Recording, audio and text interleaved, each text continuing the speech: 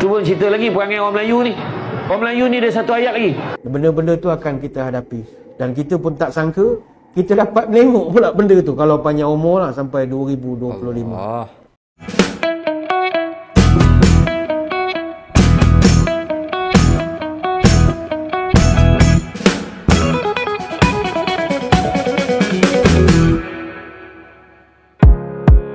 Assalamualaikum warahmatullahi wabarakatuh. Jumpa lagi dengan saya guys Cak Mujib. Gimana kabar teman-teman semua? Semoga sehat selalu dalam lindungan Allah subhanahu wa ta'ala Dijauhkan dari segala mara bahaya Malapetaka, bencana dan bala Serta berbagai macam penyakit. Amin amin ya rabbal alamin.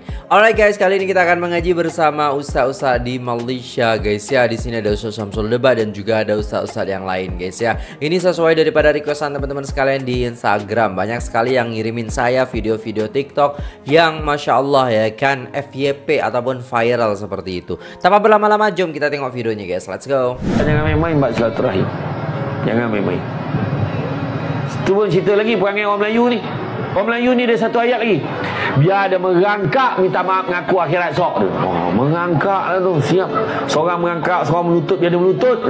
Ada je ayat tu. Nak menyusahkan orang akhirat sok.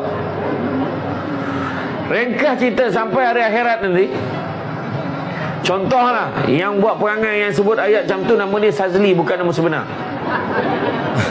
Cik Sazli bila merangkap minta maaf aku contohlah. Maka kemudian tiba-tiba dah selesai urusan ni dah kena seksa sikit bla bla bla bla tak. Wahai Sazli, malaikat umuman, masuklah kau ke dalam syurga. Wah. Huh, lega Sazli ni. Baru nak masuk syurga satu malaikat Nanti dulu. Kenapa pula? Dulu masa ke atas dunia kau pernah sebut kau minta orang ni biar merangkak minta maaf dengan kau kan? Jadi kau tunggu dulu sampai dia datang minta maaf dengan kau. Aduh lama pula. Kawan tu pula kena seksa seribu tahun. Allah. Ui, bila sudah ni? Ya, masa tu lah menyesal. Buat apa? Tu sebabnya kalau boleh maafkan dua perkara yang paling mulia di sisi Allah tapi susah nak buat. Minta maaf dan memaafkan Allahu Akbar. Dalam banget ini guys ya. Dalam banget yang disampaikan oleh Ustaz Samsul Debat kepada kita. Dua perkara yang paling mulia di sisi Allah tapi susah kita nak buat. Memang uh, perkataan-perkataan itu oh biarpun merangkak uh, ya kan meminta maaf kepada saya di hari mahsyar nanti. Kadang gitu gitu keceplosannya seperti itu gitu kan. Makanya maaf dan saling memaafkan itu adalah sifat orang-orang yang mulia guys ya.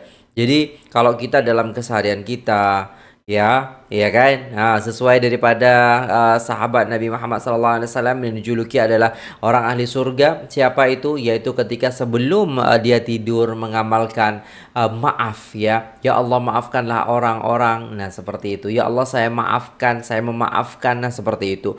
Dan bahkan mendoakan kepada orang orang-orang yang zalim, orang-orang yang jahat kepada mereka agar supaya diberi hidayah oleh Allah Subhanahu wa taala. Itu adalah sifat-sifat orang yang mulia, guys ya. Dua sifat yang memang uh, Eh, tidak semua orang punya gitu. Makanya kita belajar uh, dengan mendengarkan ustaz-ustaz ini kita boleh uh, melunakkan hati kita sehingga kita boleh uh, apa nama tu senantiasa uh, memaafkan orang-orang yang berbuat salah kepada kita. Cantik guys ya. Okey, lanjut. Saya yang paling tak tahan bila anak saya duduk rumah dia tengok YouTube Debat. Kau apa masalah kau ni? Saya tak puas hati dengan anak saya. Kau tengoklah orang lain kata. Aduh. Dia boleh tengok. Ha, ha, ha, ha, ha. Kau apa masalah kau? saya pun tak tengah mak tengok macam saya. Ada orang Malaysia dengan saya. Aduh tak boleh tahan. Itu yang jiran sebelah rumah saya ha. dekat taman yang saya duduk sebelum sebelum saya duduk taman ni sekarang ni. Sebelum ni. Itu yang saya cerita tu. Dia siram pokok. Saya borak ke. Oh, sana bang okey saya okey. Lepas tu oh, lupa nak cakap. Ada tak orang cakap? Muka abang kan sebiji macam ceramah dalam TV tu.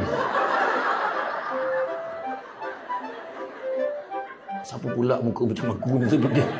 Siapa bang? Alah yang cakap lagi sembilan tu lah Yang keluar TV tu Yang yang kelakar-kelakar gitu Siapa bang? Samsul Debat ke? Ah, ya Samsul Debat Bang Saya lah Samsul Debat Kau kena bergurau agak-agak lah tu Dia tak percaya tau Sebab bila you all tengok dekat-dekat kan dia lain tau You tengok kat TV lain Dah lah dekat TikTok tu crop lagi Crop edit. Crop edit. Sudah muka tu macam ni. Crop edit.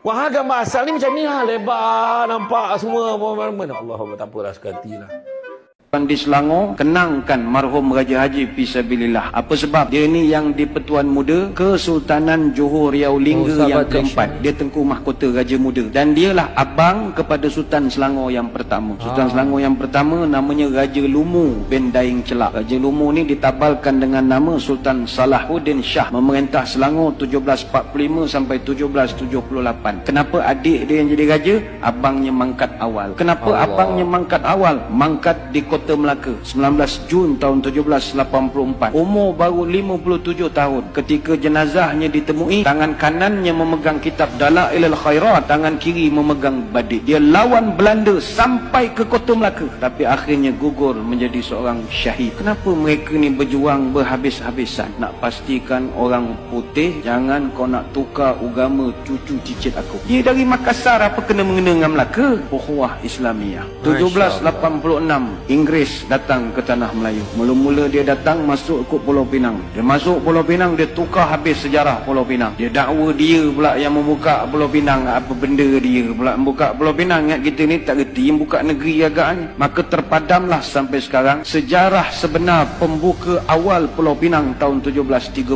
Siapa yang buka Pulau Pinang tahun 1730? Datuk Jenatun. Datuk Jenatun ni atau nama sebenarnya Jenan bin Rajo Labu bin Rajo Gandam bin Rajo Mangui yang dari Gunung Sahilan bin Raja Kuaso bin Raja Bakilap alam ya bertegak gelar tungku bagaiwang yang pertama Raja Alam Minangkabau. Mak dia putih sangat Indo dunia orang Pagaru Juang orang Sumatera yang membuka Pulau Pinang. Tapi sejarah itu dipadamkan dengan kemasukan Inggris 88 tahun kemudian. Dia tipu pula orang Melayu tahun 1874 menerusi perjanjian Pangko yang penuh dengan muslihat. Akhirnya orang putih jajah negara kita berapa tahun? Bukan 10 tahun 100 117 tahun Allah. Tapi adakah nenek moyang kita tidur? Tidak Bangkit satu persatu Dol Sa'id Rentap Mat Saleh Maharaja Lela Tok Bahaman Tok Janggut Haji Abdul Rahman Limbung dan senarai itu begitu panjang sekali. Apa rasional mereka berjuang? Allah. Sebab itu orang tua-tua wujudkan satu perkataan namanya merdeka. Merdeka ini simbolik daripada huruf mim, ro, dal, ya,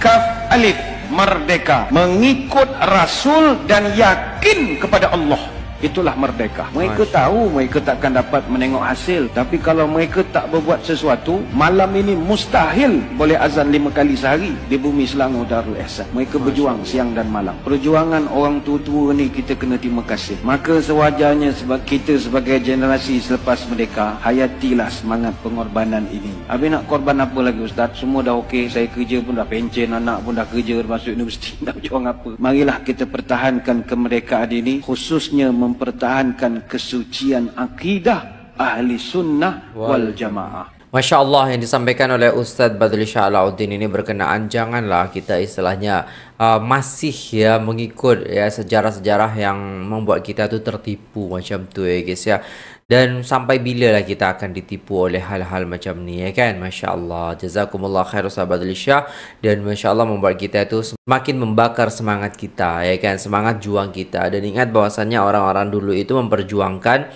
agar supaya anak cucu kita. Ini ini bukan tentang orang Malaysia saja tapi suku Melayu Minangkabau dan semua Nusantara ini guys ya. Bagaimana ulama-ulama terdahulu itu berjuang mati-matian untuk membela apa? Membela negara, tanah air serta juga tidak mau diubah agamanya kepada apa agama-agama yang tidak diridhoi oleh Allah Subhanahu wa taala.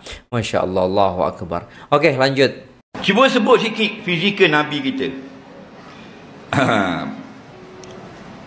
Bentuk tubuh nabi kita ni kalau muka kabar kadang ha? Nabi Yusuf hanya separuh kecantikan Rasulullah. Masya-Allah. Nabi ni kalau duduk kat orang tinggi, orang tinggi ni jarang ada orang tinggi. Ada kan? Duduk ramai-ramai boleh 50 orang, nampak seorang orang tinggi. Ah, Nabi rendah pada dia. Kalau orang rendah-rendah, Nabi tinggi. Faham tak? Mana Nabi ni sedang. Ah, itu maksudnya. Tidak pendek, tidak kaitan. Faham lagi? Nah, ah, sedang. Rambut Nabi ni, hak ujung ni, kena atas telinga. Hak belakang tu ada dua.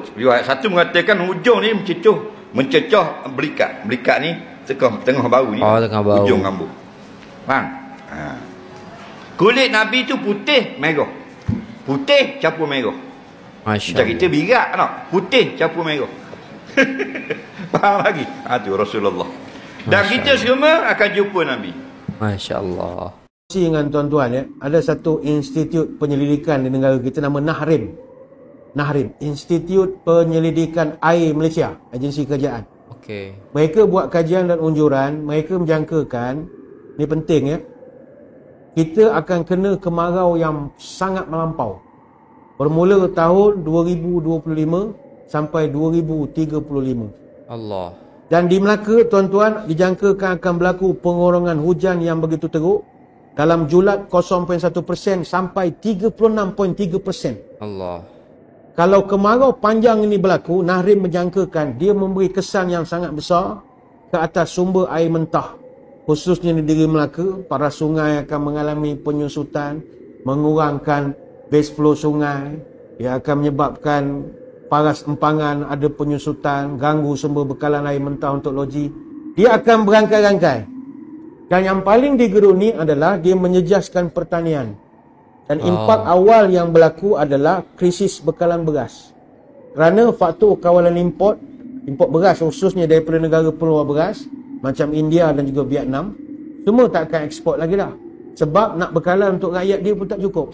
Oh. Jadi disebabkan itu, kita akan menghadapi risiko krisis keterjaminan makanan asas. Masya seperti Allah. beras. Ya Allah. Yang mana kita ni semuanya makan nasi semua kita ni. Dan kita sangat bergantung kepada beras sedia ada yang disediakan oleh pihak luar. Jadi saya ingat kita kena ada satu jihad untuk kita sementara nak nunggu 2025 ini iaitu kena buat persediaan lah. Tuan-tuan bolehlah cari benih padi sehari dua ni sebelum mahal. Tahun depan saya ingat mahal. Benih padi ingat senang nak cari, payah nak cari. Malaysia nak cari tak jumpa lah. Pergi pasar tani kalau jumpa. Tak ada. Allah. Ada juga sik tu, kedah. Jauh baru jumpa. Itu pun sekilo entah berapa kita pun tak tahu. Surau masjid, ada kawasan lapang daripada kosong, tanam padi lah saya ingat. Tanam padi. Mungkin tahun 2023 kita gelak secara berjemaah sajalah. Tanam padi, oh gelak kan tunggu 2025 esok pun kau tahu. Rugilah kita tak tanam kau tak 2 tahun, dah boleh makan lah. Yang buat unjuran ni bukan orang tepi jalan. Nahrim, Institut Penyelidikan Air Malaysia. Kenapa kemarau teruk berlaku? Dia kalau tanya kepada Met Malaysia ataupun tanya kepada Nahrim, setiap 2 sampai 7 tahun, paras air laut yang panas dia akan gantikan arus laut yang kebiasaannya sejuk yang berlaku di luar pantai barat Peru. Benda ni jauh. Peru di Amerika Selatan. Fenomena lautan yang panas ni disebut El Nino. Tapi bagi kita orang Islam, benda ni nak kiamat lah. Sebab antara petanda jelas kedatangan Dajjal adalah kemarau. Sebelum uh, tiga tahun sebelum Dajjal keluar, kita akan sengsara hidup kita. Allah. Berdasarkan hadis Abu Umamah Al-Bahili dia cerita, Nabi pernah terangkan tentang Dajjal dan Nabi suruh kita berhati-hati kata sahabat.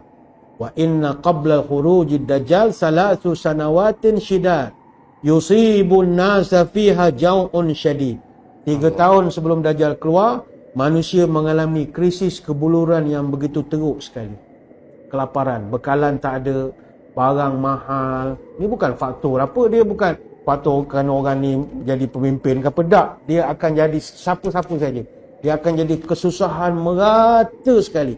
Ya'murullah sama'a fi sanatil ula an tahbisa sulusa mat matriha. Ketika itu, pada tahun pertama, langit akan mengurangkan hujannya satu per tiga. Sulusu matriha wa ya'murul ardu an tahbisa sulusu nabatiha.